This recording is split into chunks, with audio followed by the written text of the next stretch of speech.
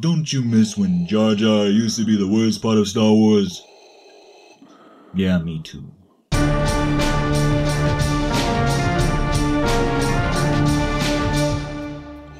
As you may have noticed, I've upgraded my armor, so in honor of my wizard new space threads, over the next few weeks, I'm going to be reviewing the Star Wars franchise, from Episode 1 to Rogue One, and everything in between.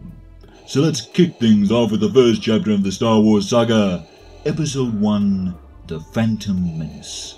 Written and directed by George Lucas, the visionary filmmaker who created not only Star Wars and Indiana Jones, but built a technological and merchandising empire of his own, giving rise to Lucasfilm back when it was actually good, Skywalker Sound, ILM, THX, and LucasArts before it was shut down by the short sighted current leadership at Disney Lucasfilm. George Lucas and his team are also responsible for many advancements in film entertainment technology, like Photoshop, pre visualization, and non linear editing. Episode 1 was released in 1999 and introduced a whole new generation of moviegoers to the global phenomenon that is Star Wars.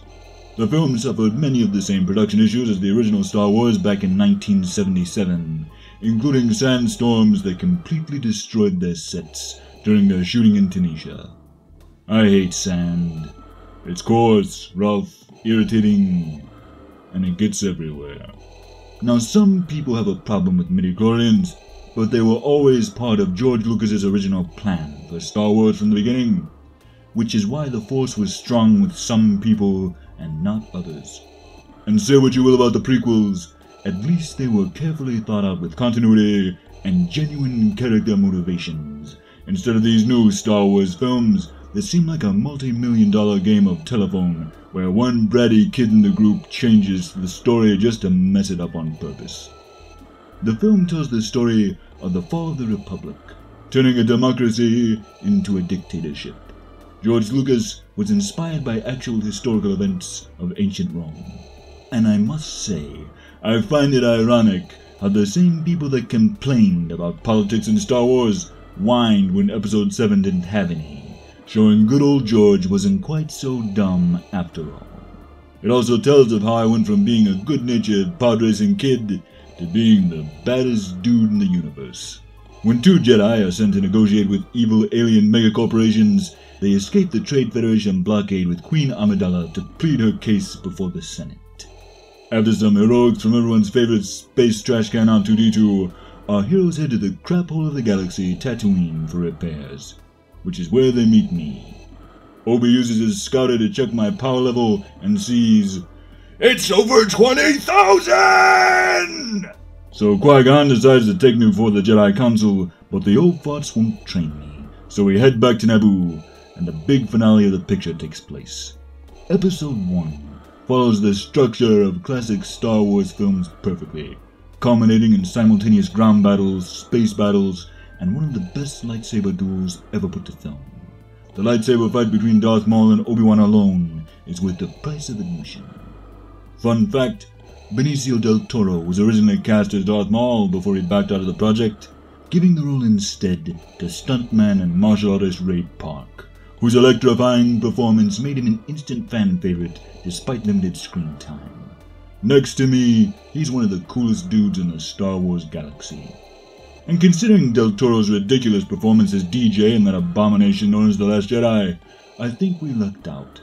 I honestly wouldn't be able to take Darth Maul very seriously with a Roger Rabbit stutter.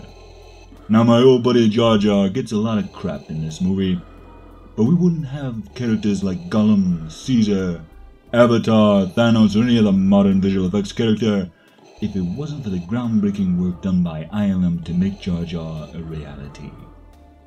Ewan McGregor's Obi-Wan was perfect casting, and Ian McDiarmid truly shines in his role of Palpatine from Return of the Jedi.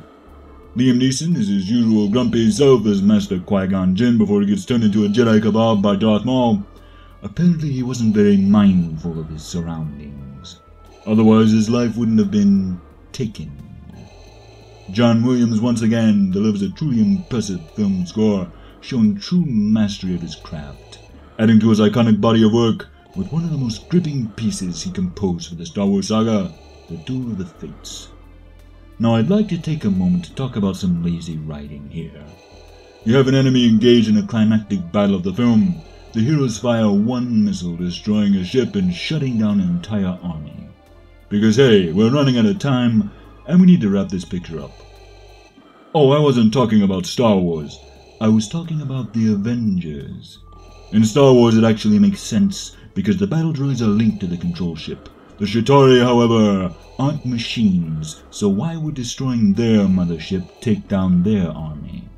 People love to rag on George Lucas, but if The Phantom Menace is so badly written, why'd you steal his ending, Joss Whedon? Is episode 1 a perfect movie? No. But for its sense of fun, milestone effects work, breathtaking action set pieces, and memorable score, I give The Phantom Menace 4 out of 5 Death Stars. The force is strong with this one. Be sure to tune in next week for my review of Episode 2 Attack of the Clones. This has been Vader Reviews. Be sure to like, comment, subscribe, hit that bell for notifications, and follow me on Twitter. Join the Empire today. You do not yet realize your importance. Share these videos, and together we will rule the internet.